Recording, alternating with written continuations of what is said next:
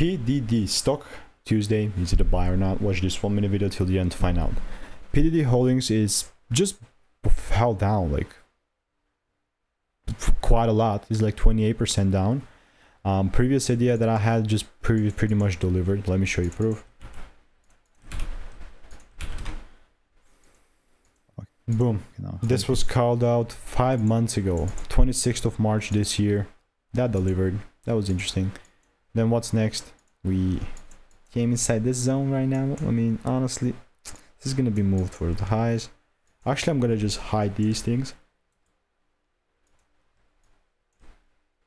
Um, why hide them? Because just making a mess on the chart. Remove all the other stuff because I'm trying to keep this thing clean. Okay.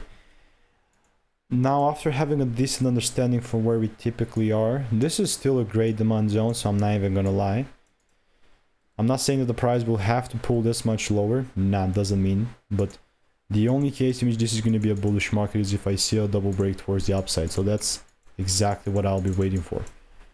If that happens, then I'm taking it higher. But without it, I'm nothing. So if you want to learn the strategy, check the first link in the comments. All reviews are 5 stars.